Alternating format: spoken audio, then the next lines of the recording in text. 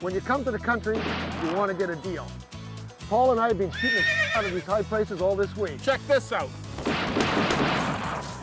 You're gonna try these on, buddy. Awesome.